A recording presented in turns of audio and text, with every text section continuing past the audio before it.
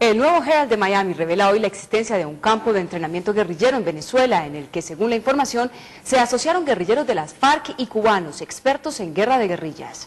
Carlos Cárdenas. María Cristina, la publicación tiene como base la denuncia de un excongresista venezolano y parece coherente con el entrenamiento que vienen recibiendo militares de ese país en tácticas de guerra asimétrica, lo cual quiere decir en caso de invasión por una fuerza extranjera.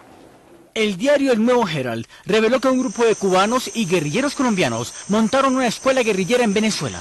El excongresista venezolano César Pérez Vivas le dijo al Nuevo Herald que en el campamento ubicado en un antiguo centro turístico en el Parque Nacional Tapocaparo se dictan clases de armas, explosivos y agitación de masas para un eventual levantamiento militar o una invasión de tropas estadounidenses. En un centro de formación político, ideológico y de entrenamiento paramilitar.